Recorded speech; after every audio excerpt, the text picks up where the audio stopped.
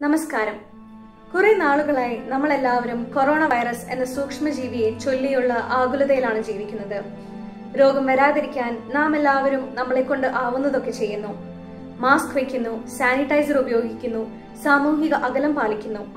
ഇതെല്ലാം നമ്മുടെ ശാരീരികമായ ആരോഗ്യം നിലനിർത്തുവാൻ വളരെയധികം അത്യാവശ്യമായി ചെയ്യേണ്ട കാര്യങ്ങളാണ്. ഇതേപോലെ തന്നെ നമ്മൾ വളരെയധികം ശ്രദ്ധ കൊടുക്കേണ്ട പക്ഷെ പലപ്പോഴും മറന്നു പോകുന്ന ഒന്നുണ്ട്. നമ്മുടെ മാനസികാരോഗ്യം. ഈ കോവിഡ് കാലത്ത് നാം എല്ലാവരും ഏറ്റവും കൂടുതൽ അനുഭവിക്കേണ്ടി വന്ന ഒന്നാണ് ഏകാന്തത. ലോക്ക്ഡൌൺ സമയങ്ങളിൽ വീട്ടിൽ നിന്ന് പുറത്തിറങ്ങാനാവാതെയും രോഗമുണ്ടോ എന്ന സംശയത്തിൽ ക്വാറന്റീനിലുമൊക്കെയായി നമ്മൾ ഒറ്റയ്ക്ക് ചെലവഴിച്ചു. ഇപ്പോഴും ചെലവഴിക്കുന്നു. കുറച്ചു കാലമോ കുറച്ചു സമയമോ ഒറ്റയ്ക്ക് ചെലവഴിക്കുന്നതിൽ വലിയ പ്രശ്നമൊന്നും ഉണ്ടാവാൻ സാധ്യത ഇല്ല എങ്കിലും ഇപ്പോഴത്തെ നമ്മുടെ ജീവിതത്തിൽ ചെറിയ ബുദ്ധിമുട്ടുകളൊക്കെ അനുഭവപ്പെടുന്നുണ്ടാവാം. നമ്മളിൽ ചിലർക്കെങ്കിലും ആ ബുദ്ധിമുട്ടുകൾ താങ്ങാനാവുന്നതിലും അധികമായി തോന്നുന്നുണ്ടാവാം. അങ്ങനെയുണ്ടെങ്കിൽ തീർച്ചയായും നമുക്ക് അത് പരിഹരിക്കാനും സാധിക്കും. അതിനായി ആദ്യം തന്നെ നമുക്ക് അനുഭവപ്പെടുന്ന ബുദ്ധിമുട്ടുകൾ എന്തൊക്കെയാണെന്ന് കണ്ടെത്തണം. ക്വാറന്റൈൻ സമയത്തൊക്കെ ഒറ്റയ്ക്കിരിക്കേണ്ടി വരുമ്പോൾ ജീവിതത്തിൽ തന്നെ ഒറ്റയ്ക്കായി എന്ന രീതിയിലേക്ക് നമ്മുടെ ചിന്തകൾ പോകുന്നുണ്ടോ? വീട്ടിൽ നിന്നും പുറത്തിറങ്ങാനും സുഹൃത്തുക്കളെയും മറ്റും കാണാനും ആവാതിരിക്കുമ്പോൾ വല്ലാത്ത മാനസിക സമ്മർദ്ദം അനുഭവപ്പെടുന്നുണ്ടോ? ഫോണിലൂടെയൊക്കെയായി ഇപ്പോഴും മറ്റുള്ളവരോട് ബന്ധപ്പെട്ടുകൊണ്ടിരിക്കണം. അല്ലാതെ പറ്റില്ല എന്ന തരത്തിൽ തോന്നുന്നുണ്ടോ?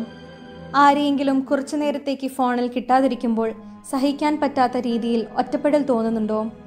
ഒറ്റയ്ക്കിരിക്കുമ്പോൾ അരക്ഷിതാവസ്ഥ അനുഭവപ്പെടുന്നുണ്ടോ? എന്നൊക്കെ സ്വയം ചോദിച്ച് മനസ്സിലാക്കുക. ഇവയൊക്കെ അനുഭവപ്പെടുന്നുണ്ടെങ്കിൽ ഉടൻ തന്നെ ഒരു സൈക്കോളജിസ്റ്റ് അല്ലെങ്കിൽ സൈക്യാട്രിസ്റ്റിനെ ബന്ധപ്പെടുക. ഈ കാലത്ത് അനുഭവപ്പെടുന്ന മറ്റൊരു വലിയ പ്രശ്നമാണ് സ്റ്റിഗ്മറ്റൈസേഷൻ. എപ്പോഴെങ്കിലും രോഗബാധ ഏൽക്കുകയോ ക്വാറന്റീനിൽ ഇരിക്കേണ്ടിയോ വരുന്നവരെ ചുറ്റുമുള്ള ആളുകൾ അപകടകാരിയായോ രോഗം പരത്തുന്നവരെന്നോ ഉള്ള രീതിയിൽ നോക്കിക്കാണുന്നതായി നമ്മുടെ ശ്രദ്ധയിൽപ്പെടുന്നുണ്ട്. ഈ സാഹചര്യത്തെ പറ്റിയും നമ്മൾ പരസ്പരം സഹായിച്ചും ആശ്വസിപ്പിച്ചും മുന്നോട്ട് പോവേണ്ടതിന്റെ ആവശ്യകതയെപ്പറ്റിയും നമുക്ക് അറിവുണ്ടെങ്കിൽ ഇങ്ങനെ പെരുമാറുന്നവരെ അത് അവരുടെ അറിവില്ലായ്മയായി മാത്രം കാണാം. കഴിയുമെങ്കിൽ അതിനെ തിരുത്താനും ശ്രമിക്കാം. നമ്മുടെ പ്രിയപ്പെട്ടവരോടൊക്കെ സംസാരിക്കുമ്പോൾ പരസ്പരം കേൾക്കുകയും കൂടെയുണ്ടാവുകയും ചെയ്യേണ്ടത് എത്രമാത്രം പ്രാധാന്യമുള്ള കാര്യമാണെന്ന് ഓർമ്മിപ്പിക്കാം. എന്നാൽ ഈ സ്റ്റിഗ്മ നമുക്ക് നേരെ സഹിക്കാൻ പറ്റുന്നതിൽ അപ്പുറമായി വരികയാണെങ്കിൽ നമുക്ക് ആശ്വാസം കിട്ടാനായി വിദഗ്ധരെ ബന്ധപ്പെടാവുന്നതാണ്. ഒറ്റപ്പെടലിനും സ്റ്റിഗ്മയ്ക്കൊപ്പം നാം നേരിടേണ്ടി വരുന്ന മറ്റു പ്രശ്നങ്ങളാണ് മാനസിക സമ്മർദ്ദവും ഉത്കണ്ഠയും. വീട്ടിലാണുള്ളതെങ്കിലും ഓൺലൈൻ ക്ലാസ്സും വർക്ക് ലോഡുമൊക്കെയായി എല്ലാവരും തിരക്കിലാണ്. ഈ സമ്മർദ്ദങ്ങൾക്കൊക്കെ ഇടയിൽ നാം നമ്മെ വേണ്ട വിധം ശ്രദ്ധിക്കാതെ പോയാൽ തീവ്രമായ മാനസിക പ്രശ്നങ്ങളിലേക്ക് പോലും അത് നമ്മെ കൊണ്ടെത്തിച്ചേക്കാം. കൂടുതൽ ശ്രദ്ധയും സഹായവും ആവശ്യമുള്ള തരത്തിൽ നമ്മിൽ എന്തെങ്കിലും ലക്ഷണങ്ങൾ കാണുന്നുണ്ടോ എന്ന് നമ്മൾ പരിശോധിക്കണം.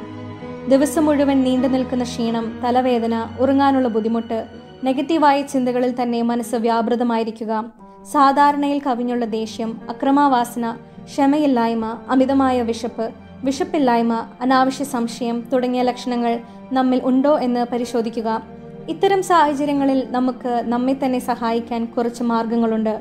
ഉത്കണ്ഠ ഉണ്ടാകുന്ന തരത്തിലുള്ള വാർത്തകളിലേക്ക് അധികം ശ്രദ്ധ കൊടുക്കാതിരിക്കുക. മെഡിറ്റേഷനും വ്യായാമവും ശീലിക്കുക. സ്ക്രീൻ ടൈം കുറയ്ക്കുക. ജോലിക്കിടയിൽ കൃത്യമായ ഇടവേളകൾ എടുക്കുക. ഹോബികളിൽ ഏർപ്പെടുക. പ്രിയപ്പെട്ടവരോട് സംസാരിക്കുക. സപ്പോർട്ട് ഗ്രൂപ്പുകളിൽ ചേരുക.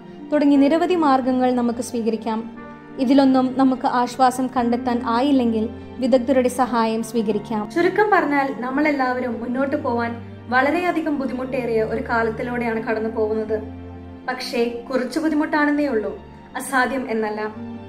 എന്തെങ്കിലും ബുദ്ധിമുട്ടുകൾ അനുഭവപ്പെട്ടാൽ ഉടൻ തന്നെ നമുക്ക് സഹായം സ്വീകരിക്കാം. അത് മൂർച്ഛിക്കുന്ന അവസ്ഥ വരെ കാത്തു നിൽക്കേണ്ട ആവശ്യമില്ല. ഒരു പനി വന്നാൽ വേഗം തന്നെ ഡോക്ടറെ കണ്ട് മരുന്ന് വാങ്ങിച്ചാൽ മാറും എന്ന വിശ്വാസത്തിൽ ഹോസ്പിറ്റലിൽ ഓടിയെത്തുന്നവരാണ് നമ്മൾ. അതേപോലെ തന്നെ മാനസികമായി എന്തെങ്കിലും ബുദ്ധിമുട്ടുകൾ അനുഭവപ്പെട്ടാൽ ഉടൻ തന്നെ നമുക്ക് ഒരു സൈക്കോളജിസ്റ്റ് അല്ലെങ്കിൽ സൈക്കാട്രിസ്റ്റിനെ ബന്ധപ്പെടാം. ഇപ്പോൾ ഓൺലൈൻ വഴിയും കൗൺസിലിംഗ് പോലെയുള്ള സേവനങ്ങളൊക്കെ ലഭ്യമാണ്. അതൊക്കെ നമുക്ക് ഉപയോഗപ്പെടുത്താം. നമ്മളെല്ലാവരും ഒരുമിച്ചാണ് ഈ അവസ്ഥയിലൂടെ കടന്നു പോകുന്നത്. അതൊക്കെ കഴിയും വിധം സഹായിച്ചും സഹായം തേടിയും ഒക്കെയാവാം സ്റ്റേ സേഫ് സ്റ്റേ ഹെൽത്തി